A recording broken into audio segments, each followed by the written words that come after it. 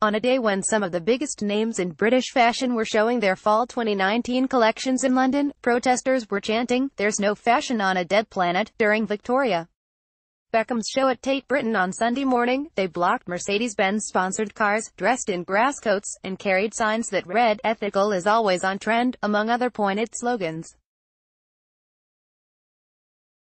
Extinction Rebellion, the environmentalist group that made headlines in November by shutting down the city intermittently for several days, swarming areas of heavy traffic and blocking major roads and bridges in order to call attention to the climate change crisis, had disrupted the runway. A decentralized coalition now with hundreds of outgrowths in dozens of countries, the founding British faction turned its sights to one of the world's most wasteful industries, during one of its most important weeks. Everybody needs clothes but we don't need as many clothes as we make today, says Clare Farrell, an Extinction founding member and environmentalist who helped lead the LFW actions on Sunday. The reason why we're going to the fashion industry is because it is one of the most polluting on earth. It is using a vast quantity of the carbon budget that we have left to produce products that we don't need, clothing underutilization and waste costs the global economy 500 billion US dollars a year, according to the Ellen MacArthur Foundation. The extreme linearity of the textile industry means that large amounts of non-renewable resources are used to produce clothes that are most often incinerated or turned into landfill.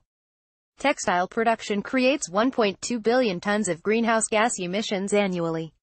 So the need for industry reform is huge. If you look at the Consumer Price Index, it's the only commodity that has pretty much flatlined in price in the past 30, 40 years, says Farrell, who is also a lecturer specializing in fashion and sustainability. So of course people just buy more of it, but the vast majority of consumers who are buying fast fashion or high street retail don't thinking about the consequences. It's important for people who don't think about where things come from to be reminded, she continues. It's possible that clothing relies solely on agriculture or petrochemicals for raw material, which are the two spaces that I would suggest are going to be a very volatile industry in the future. There's a duty of care for people who understand that to educate not just the public but even young designers who might not necessarily think about how they won't be able to make cotton clothes when there's no topsoil and no water, Farrell cites UK. Designer Bethany Williams as an up-and-comer who is very principled. She is receiving this year's Queen Elizabeth II Award for British Design. Now Farrell and her cohorts are asking players at the highest level of the industry to do their part. Last week, Extinction addressed the British Fashion Council directly via an open letter, calling on it to use its influential position to tell the truth about climate change. It insisted that the BFC declare a climate emergency. London's mayor, Sadiq Khan, declared one last year, after Extinction made its debut. Though a formal declaration has yet to come out of the appeal, it did get Farrell and others an audience with Caroline Rush, the British Fashion Council CEO, ahead of the shows this season. On the phone to Vogue that same day, Farrell said organizers stressed that they weren't targeting individuals or brands, but the industry as a whole, and the response is almost always to make something new. That's the opposite of what we need to do. What's more, the fashion industry's current rhetoric on sustainability might actually impede systemic overhaul more than anything else. Already this February, London Fashion Week played host to sustainability-focused events, with mother-of-pearl designer Amy Powney partnering with BBC Earth and the BFC in a series of talks on microplastics.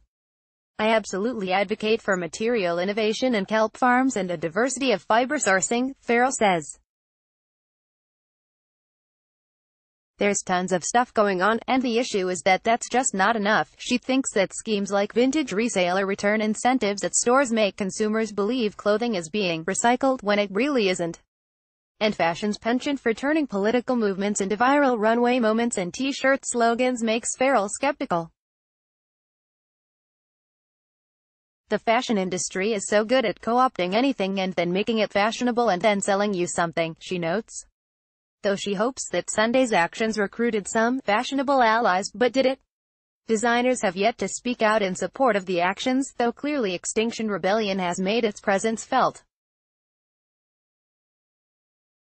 Ultimately, no one was arrested at the demonstrations, which in addition to blocking roads outside Beckham's show, shut down traffic on the Strand. Police and rebels cooperated to let emergency vehicles through. The real change will come when less is more becomes not just a design adage but an ethical impulse. After visiting a recent exhibition of new designers at Somerset House, Farrell admitted to feeling a twinge of missing creating things. It made me feel really sad, because I looked around and thought, oh, I really miss making things and feeling able to, she says. But as an educator and organizer, she now has a new creative outlet. What we're trying to say to individual industries is this, governments are not going to do this for us. You need to think very hard about the consequences of the business that you're in and have urgent conversations with everybody whom you encounter about what could be done.